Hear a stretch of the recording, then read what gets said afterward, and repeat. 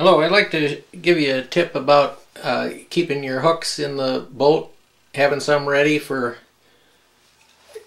in case of a you have to cut one off or something like that.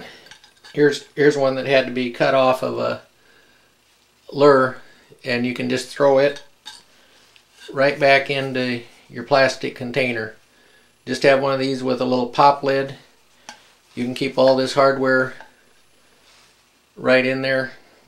Throw in some clevises, some extra snaps, and uh, various different sizes of hooks.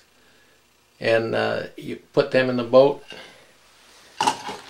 You can see here in the picture we've got the soft sides with the plastic containers in them. Just You can just throw it right into one of your uh, outer compartments here and you'll have them ready to go. Uh, one one tip I would give also is uh, go ahead and pre-sharpen all of these spear hooks.